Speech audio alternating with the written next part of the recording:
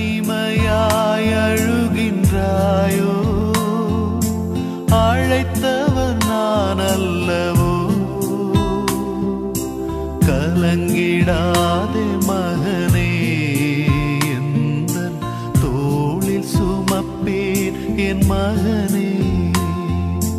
கலங்கிடாதே மகளே நெஞ்சில் அணைப்பேன் என் மகளே?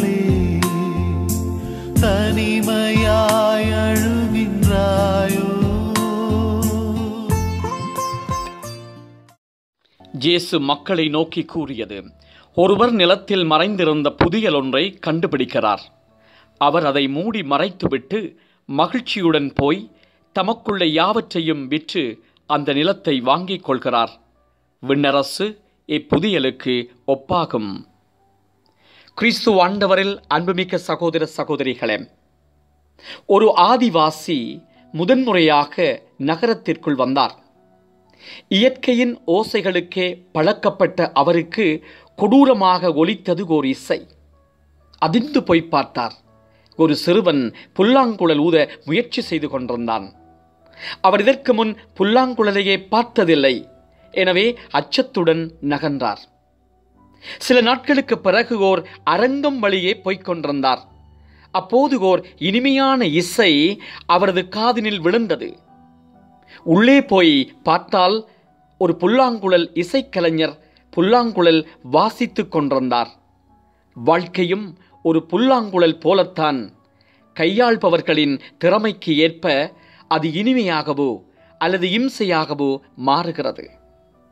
நம் சமூக வழியில் நிறைய நிகழ்வுகளை பார்க்கிறோம்.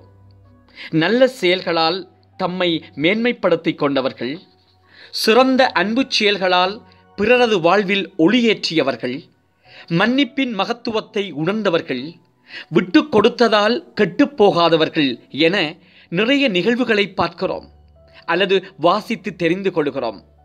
அதேவேளை தவறான செயல்களால் தங்கள் பேரினை இழந்து போனவர்களையும் பிறரின் சாபத்திற்கு உள்ளானவர்களையும் காண்கிறோம். பார்த்து திருந்துவது ஒரு வகை பட்டு திருந்துவது இன்னொரு வகை. நாம் எதனை முதன்மையான செல்வமாக நினைக்கிறோம்? நாம் சேன் தேர்ந்து கொள்வதில் தான் அது இருக்கிறது. அதை நாம் ஆழமாக சிந்தித்து அறிந்து கொள்ள வேண்டும். நம்முடைய வாழ்வை நாங்களே சீர்தூக்கி பார்க்க வேண்டும். கடந்து வந்த பாதையை திரும்பி பார்க்க வேண்டும். எங்களுடைய வாழ்க்கையிலே எத்தனையோ விடயங்கள் தேவையற்றவை. ஆனால் வாழ்வோடு சேர்ந்து விட்டன. இன்னும் எத்தனையோ காரியங்கள் எங்களுடைய வாழ்க்கையிலே எம்மால் தேடப்பட வேண்டியவை. ஆனால் இன்னும் எங்களால் அறிய முடியாமல் இருக்கிறது. ஆகவே எங்களிடம் சேர்ந்து கொண்ட தேவையற்றவற்றை வெட்டிவிட்டு நாம் தேட வேண்டியவற்றை தேடிச் செல்ல ஆண்டவருடைய உதவி வேண்டியவர்களாக இன்றைய நாளுக்குள்ளே செல்லுவோம். மன்றாடுவோமாக. அன்பான தந்தையே இறைவா இன்னொரு நாளை எங்கள் ஒவ்வொருவருக்கும் ஆசீர்வாதமான நாளாக தந்திருக்கிறேன். உம்மை போற்றுகிறோம். உம்முடைய பெயரை மகிமைப்படுத்துகிறோம்.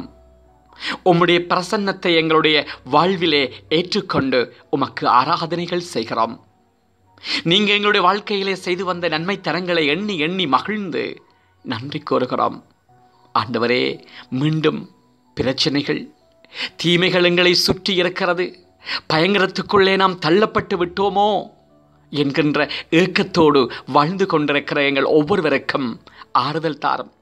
எங்களை கரம் பற்றும் ஆண்டவரே நாளை என்ன நடக்குமோ என்ற ஒரு பீதியிலே பயத்திலே வாழ்ந்து கொண்டிருக்கிற எங்களுக்கு ஆறுதலும் சக்தியும் தாரும் ஆண்டவரே.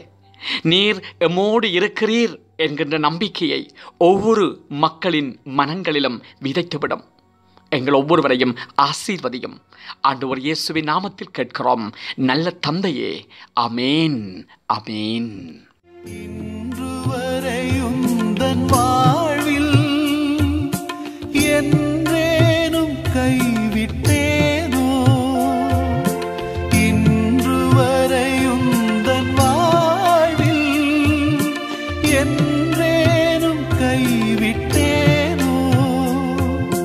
வென்று வந்தவை எல்லாம் என்னாலே என்று உணர்வாய்.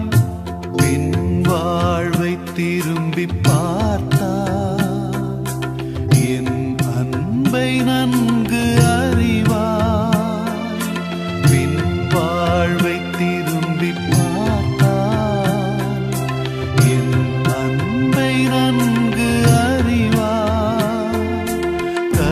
மயங்கிடாதே மகனே எந்தன் தோளில் சுமப்பேன் என் மகனே. கலங்கிடாதே மகளே எந்தன் நெஞ்சில் அணைப்பேன்